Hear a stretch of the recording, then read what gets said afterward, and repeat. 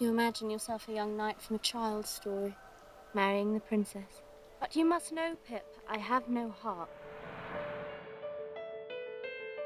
I say, Pip, old chap, never the best of friends. Never the best of friends, Joe. Come along, boy. Do you wish to see Miss Havisham? Come here. Let me look at you. Are you sullen and obstinate? No, Mum. He's a common neighbouring boy. You could break his heart. What do you think of her? I think she's very pretty. You may kiss me, if you like.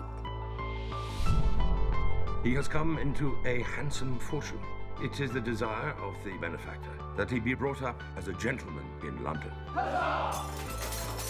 There are conditions, of course. The first is that the name of the benefactor remain a profound secret.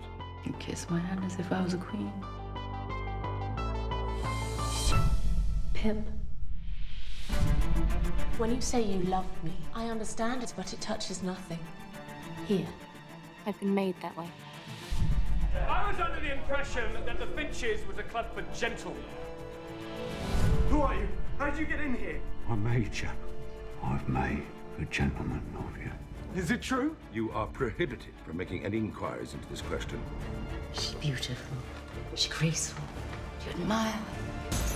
How can you give your affections to that man? The looks and smiles you never give to me. You want me to deceive you? Do you deceive him? Yes! All men but you. Jaggers, you must tell me. If he's found, he will hang. You risked your life to come to me. You believed what you chose to believe. Was that kind? Who am I to be kind? I was sent for life.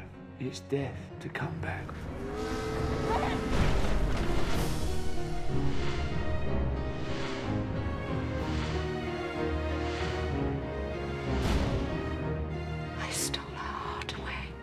Put ice in its place. It's not natural. It is natural in me.